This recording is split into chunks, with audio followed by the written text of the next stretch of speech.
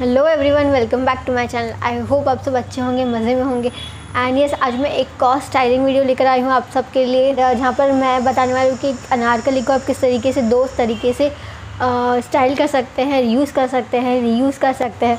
सो आई hope आप सबको ये वीडियो अच्छा लगे एंड इस वेडिंग सीज़न में आप इस तरीके से नो डिफरेंट तरीके से एक ही अनारकली कुर्ती को रीस्टाइल कर सकते हैं। मैंने इस तरीके के बहुत सारे वीडियोस बनाए हुए हैं सो अगर आपने नहीं देखे तो देख लीजिए।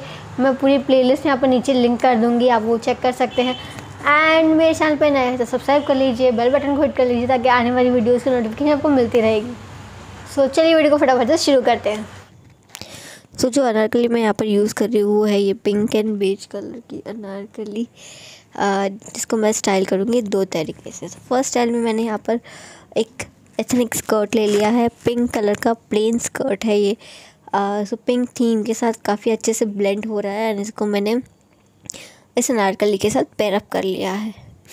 अब इसको कंप्लीट लुक देने के लिए मैंने यहाँ पर एक नेट का दुपट्टा भी ऐड कर लिया है। वो भी अगेन पिंक शेड में ही है, जिससे कंप्लीट लुक बहुत ही ज़्यादा अच्छा लग रहा है।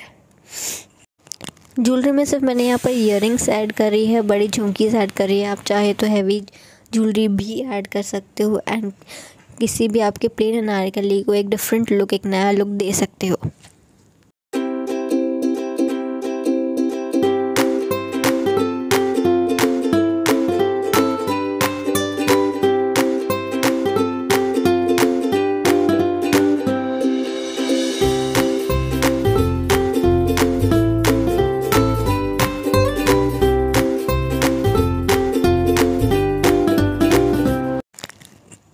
सेकेंड लुक में मैंने उसी अनारकली के ऊपर से एक स्कर्ट पहन लिया है। यहाँ पर मेरे पास एथनिक स्कर्ट है, जिस पर गोल्डन प्रिंट्स है एंड उसको मैंने अनारकली के ऊपर से पहना है।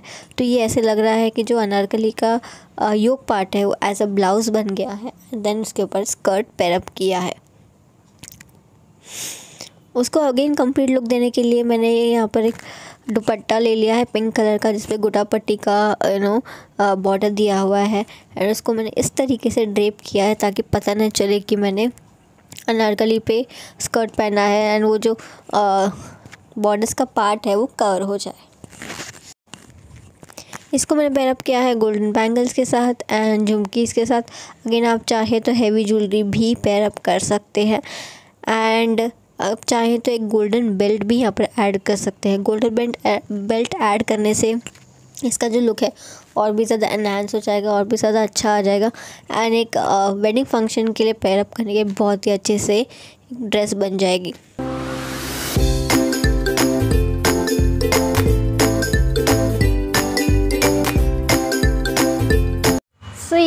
आज का वीडियो जहाँ पर मैं बताया किस तरीके से आप एक अनारकली कुर्ती को दो तरीके से स्टाइल कर सकते हैं। आप मुझे कमेंट करके ज़रूर बताइए इस दोनों में से आपको कौन सा वाला स्टाइल ज़्यादा अच्छा लगा है। एंड इस तरीके के और भी वीडियोस देखने के लिए चैनल को सब्सक्राइब कर लीजिए। मैं, एंड मुझे इंस्टाग्राम पे नहीं फॉलो करे तो फॉलो कर दीजिए। मैं इंस्टाग्राम का हैंडल का लिंक भी आपको डिस्क्रिप्शन बॉक्स में मिल जाएगा। मैं मिलती हूँ नेक्स्ट वीडियो में, तब तक के लिए गुड बाय